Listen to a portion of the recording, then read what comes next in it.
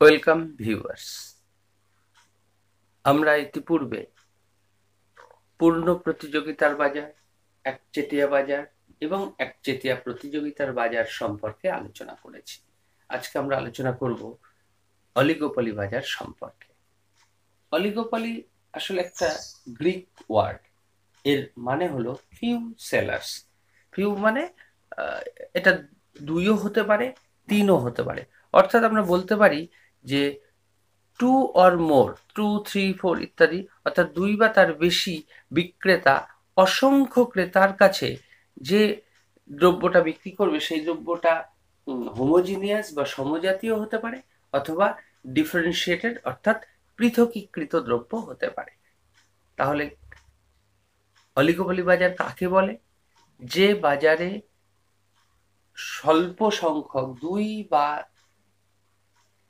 তিন বা চার, এরকম অল্প সংখ্যক বিক্রেতা, অসংখ্য ক্রেতার কাছে সমজাতীয় অথবা পৃথকীকৃত দ্রব্য বিক্রয় করে, তাকেই আমরা বলি অলিগোপলি বাজার।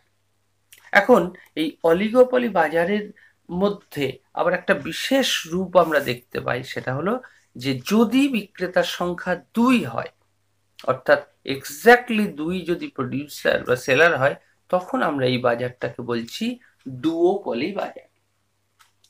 আবার যদি আমরা দেখি যে অলিগোপলি বাজারে যে দ্রব্যটা বিক্রয় হচ্ছে, সেই দ্রব্যটা সমজাতীয়, অর্থাৎ প্রতি বিক্রেতা, দুই বা তার বেশি বিক্রেতা, যে দ্রব্য বিক্রি, বিক্রয় করছে, সেই দ্রব্যগুলো হচ্ছে সমজাতীয়।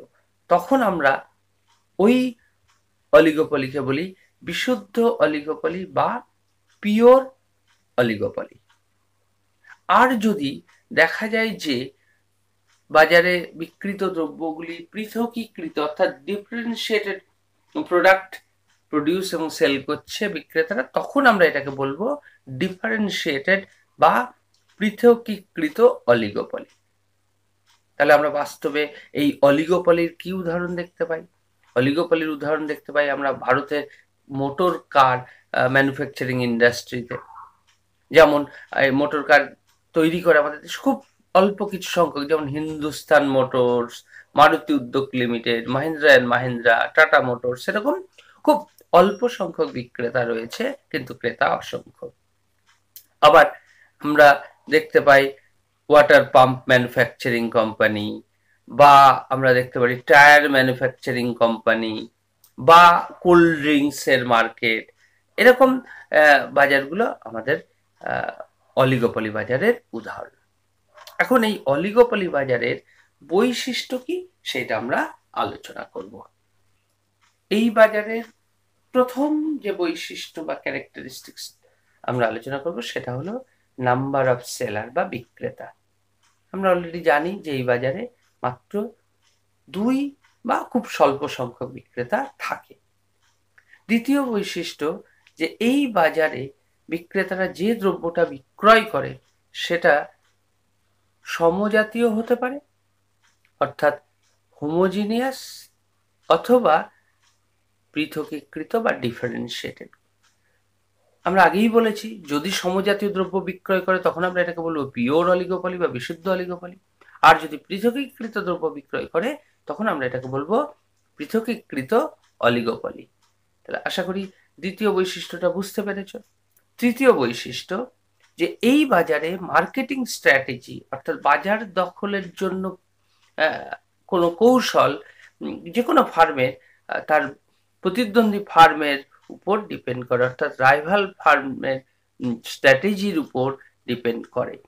সেই জন্য এটা খুব কঠিন কোনো একটা ফার্মের যে তার যে কোনো একটা স্ট্র্যাটেজির জন্য তার কাউন্টার স্ট্র্যাটেজি হিসাবে তার অপোনেন্ট ফার্ম বা রাইভাল ফার্ম কি স্টেপ নেবে। চতুর্থ বৈশিষ্ট্য আমরা বলতে পারি যে এই বাজারে মার্কেট স্ট্রাকচার আর কি, এই বাজারে নতুন ফার্মের প্রবেশ অত্যন্ত এন্ট্রি অফ নিউ ফার্ম কঠিন।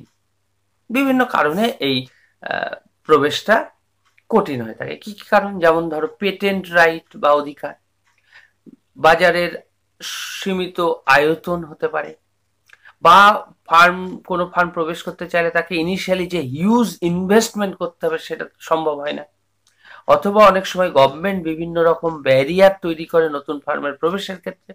এই সমস্ত কারণে এই বাজারে প্রবেশ কিন্তু অত্যন্ত কঠিন। যদিও এক্সিট ফ্রম দ্য ইন্ডাস্ট্রি অর্থাৎ এই শিল্প থেকে নিষ্ক্রমণের ক্ষেত্রে নিষ্কার মানে বেরিয়ে যাওয়ার ক্ষেত্রে এক্সিট করার ক্ষেত্রে কিন্তু কোনো অসুবিধা নেই। অর্থাৎ কোনো ফার্ম যে কোনো সময় চাইলে তার ব্যবসা বন্ধ করে দিতে পারে, এটা সম্ভব।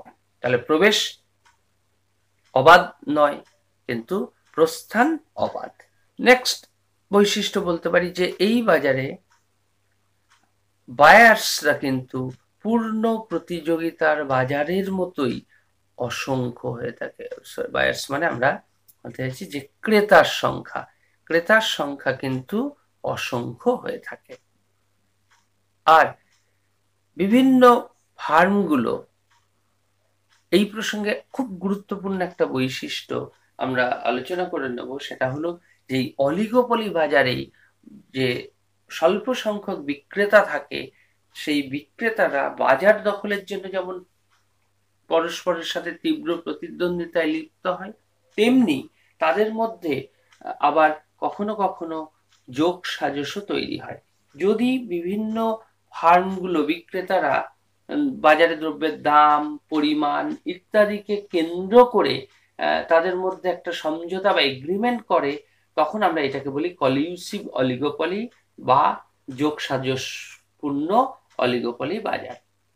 অর্থাৎ এক্ষেত্রে বাজারে দ্রব্যের দাম কি হবে কি, কে কোন ফান্ড কতটা উৎপাদন করবে, এই ব্যাপার। যেমন আমরা একটা উদাহরণ হিসেবে বলতে পারি, তোমরা ভূগোলে দেখেছ বা পড়েছো, ওপেক।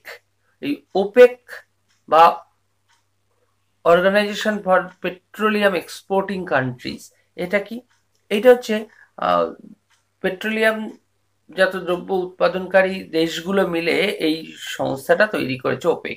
ওপেক হচ্ছে একটা কার্টেল যেটা এই কলিউসিভ অলিগোপলির উদাহরণ। অর্থাৎ খুব অল্প সংখ্যক দেশ তেল উৎপাদন করে, ক্রুড অয়েল বা খনিজ তেল যে পেট্রোলিয়াম অপরিশোধিত তেল, সেই তেলের স্বল্প সংখ্যক বিক্রেতারা নিজেদের মধ্যে যোগসাজস করে সংস্থাটা তৈরি করেছে। ফলে বিশ্বের বাজারে পেট্রোলিয়াম জাত ওই যে ক্রুড অয়েলের দাম কি হবে তা বা কতটা পরিমাণ ছাড়াবে, সমস্ত কিন্তু এই ওপেক নির্ধারণ করে।